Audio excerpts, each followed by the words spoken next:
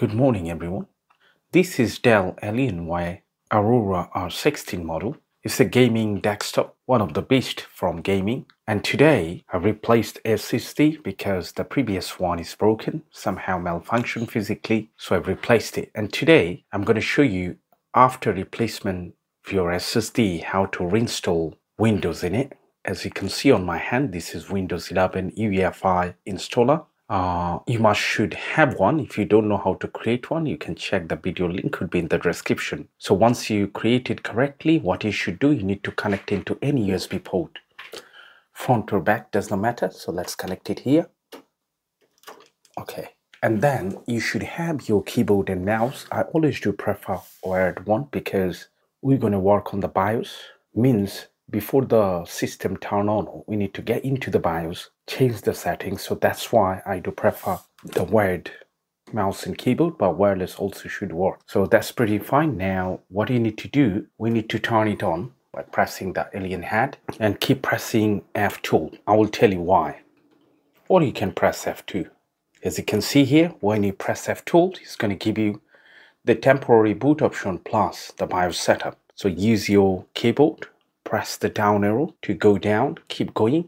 And once you get into highlighted BIOS setup, press enter button like that. Once you enter, it's going to come up like that. So that BIOS settings for R16, Alienware Aurora R16 model, there are one, two, three, four, five sections on the left. So those are the submenu. Once you click here, it's going to open up. So as you can see now, this is highlighted main with the blue color it means whatever we can see there okay this is the bigger picture of the main section. And on the right hand side also we can see the previous values optimized defaults back save and exit okay? So from here first we need to select it. There are not that many major settings need to change due to have the UEFI boot because this one by default came in UEFI so pretty much is ready to take the new system. But when you reinstall or replace your SSD, your BIOS system wouldn't allow you unless you change the settings, which I'm going to show you in a second. All right, so from here with the mouse, I'm going to go to advanced section. And from advanced section, what you need to do, the most important one is the SATA NVMe operation mode. Normally, by default, it's on RAID on. When this is RAID on, you don't be able to see your internal SSD during the Windows installation, which is a big problem. So what you need to do here, click and change AHCI or NVMe. This is the game-changing settings that you need to do due to get the correct USB boot. Now we're going to get into USB configuration, which is that one. Make sure the front USB port and the rear USB ports are enabled. Otherwise, if you connect anything to the USB port, it wouldn't be recognized. Okay, so pretty much that's all from here and uh, TPM should be turned on anyway. So let me double check if there is anything called TPM. Nothing in here. Now we're going to go to security section. From there, we need to find firmware TPM, which is enabled. That's great. And then secure boot at the bottom option, right? So click here make sure the secure boot is enabled and secure boot mode is deployed mode. That's what I do like. Leave everything as it is. So security section also we done. Now we can jump into boot section. Click here. Now as you can see the boot option 1 and 2 and boot list operation by default is set up to UEFI. That's what we wanted, right? Now if you click here, it will not show your USB, bootable USB, which is fine. You don't need to worry, okay? So don't get yourself worried here. That's all fine. Now we're going to save it and exit it. What you're going to do, instead of choosing the first boot option as our USB, we're going to get into temporary boot option by pressing F12. And from there, manually, we're going to select our Windows installer. I'm going to show you in a second. So save and exit it.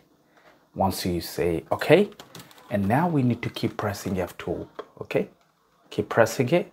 You see, uh, that is the temporary boot option. From here, it shows EFI options. There are three visible options. One of them, my USB 1, which is the Kingston Data Traveler. So I'm going to hit enter. once I hit enter that's all fine now it's going to load up the speed depends on your USB stick and the PC obviously this is a beast so it shouldn't take that long now we can see uh, the Windows setup page. I'm going to hit next because that's what I wanted. Install now. I don't have the product key so I'm going to say I don't have it for now just for the security purpose. Now from here this is uh, multiple service pack here. So I'm going to choose 11 Pro. I'm going to hit next. Accept the terms and condition. Hit next. And if you'd like to install fresh Windows and you don't want any data then I would say choose that one the bottom option right?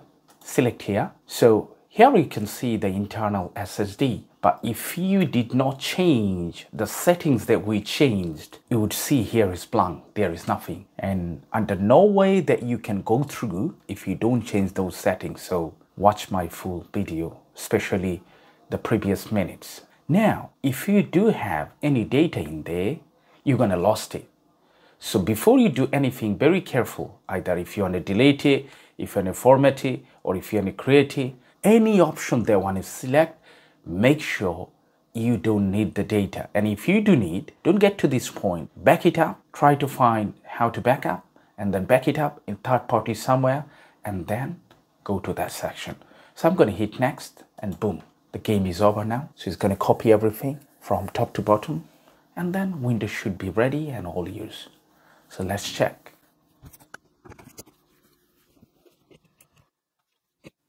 As you can see, they how fast It's already 59%. And my SSD, that is not from Samsung or Western Digital, this is one of the basic NVMe SSD. Imagine if that was the fastest SSD and it was going to be like rocket speed.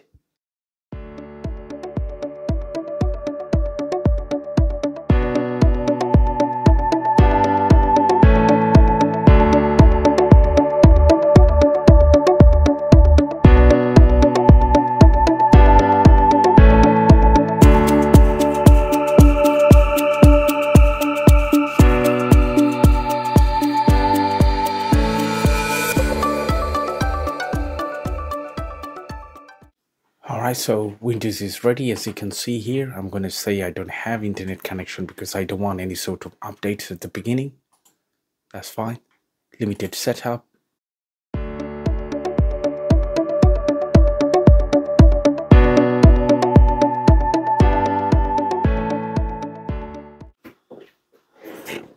Alright, so finally everything ready. Now there are a couple of things you need to do as soon as you have the brand new system. I would suggest you first create some desktop icons, which is very important. This is going to give you easy access. You can just get into themes and then from here desktop icon settings, control panel and computer. Apply, okay. Now as you can see here is here so you can check everything. For example, if you want to get into device manager you can get there then from device you can see all the outdated drivers that you need to update. And then also you should have internet connection. Now sometimes you might not have the Wi-Fi um, module because there is no driver.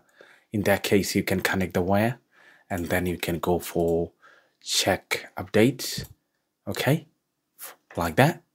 And then from here you can go for check for updates. I'm not going to do that in a minute i'll do that later because that's going to take uh, maybe an hour or even more because i do have internal pcie integrated graphics card which is um, huge file size for the drivers okay? So that's what you need to do and do the restart and set up the password for your account to protect it and pretty much that's all. So i hope you did enjoy this video and if you do have any question please let me in the comment section. And if you do like please support our channel by subscribing it. Thank you so much for watching. Bye for now